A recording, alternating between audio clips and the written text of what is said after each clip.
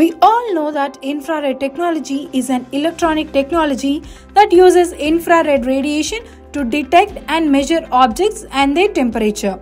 These radiations are invisible to the human eye but can be seen by unique cameras and sensors. This technology is used in many applications such as industrial inspections, building inspections, and medical imaging.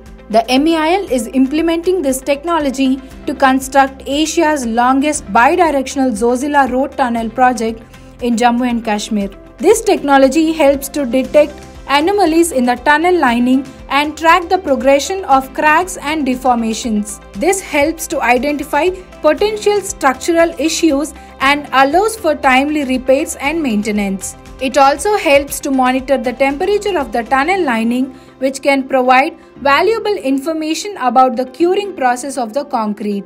This kind of technology is generally used partially in some complicated constructions However, in Zojila, the entire tunneling works are being monitored using this technology, which is wireless and operable on a mobile phone.